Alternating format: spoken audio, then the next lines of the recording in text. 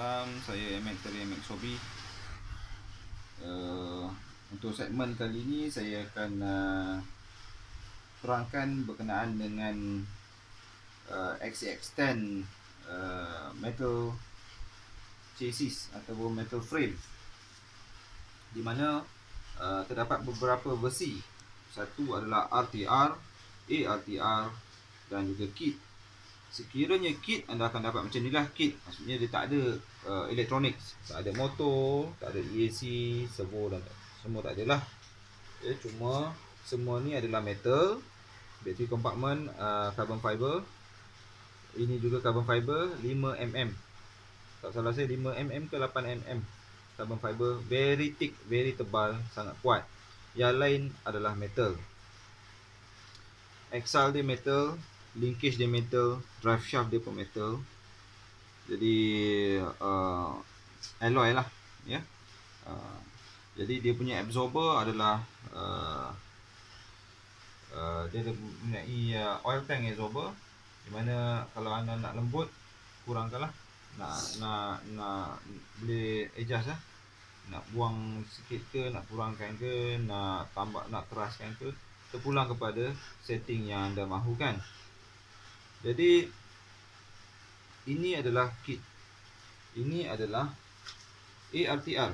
ARTR bermaksud uh, almost ready to run. Di mana uh, tak ready lagi lah nak nak run. Almost. Jadi ada EAC, ada motor, ada servo. Cuma tak ada remote, battery dan juga receiver dan juga charger. Yang lain semua sama. Uh, dan juga ada yang special request uh, minta body shell. So body shell hard body anda boleh pilih apa juga body shell yang anda mahukan saya akan dapatkan.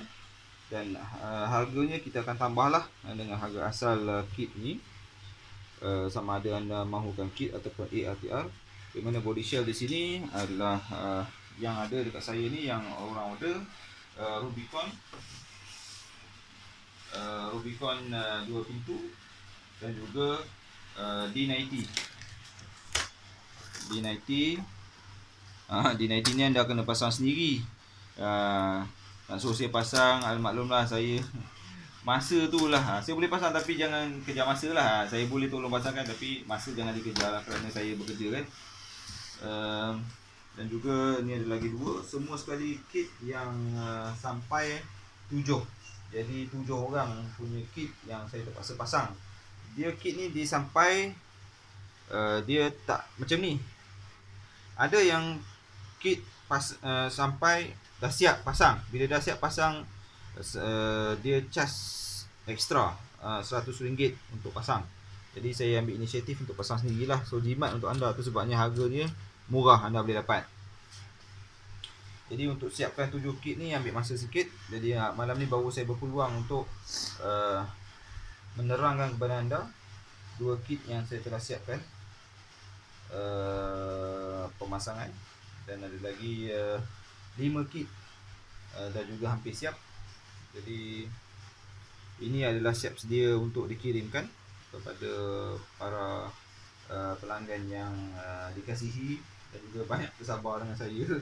Uh, jadi insyaallah uh, dalam masa terdekat saya akan postkan benda uh, kit ni. Uh, jadi saya rasa tak ada apa yang perlu saya explainkan uh, secara detail anda boleh lihat sendiri di dalam video yang saya telah bagi sebelum ini dan juga uh, secara langsung ni uh, rim dia pun uh, adalah alloy rim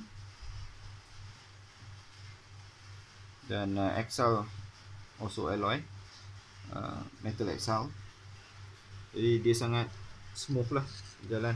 Uh, cuma dia punya spur sini adalah spur uh, uh, plastik spur eh. Uh, belum metal spur.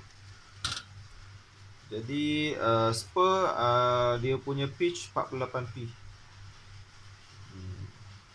saya rasa itu saja yang saya dapat terangkan berkenaan dengan uh, kit dan juga ARTR saya harap anda terhibur dan selamat malam. Assalamualaikum.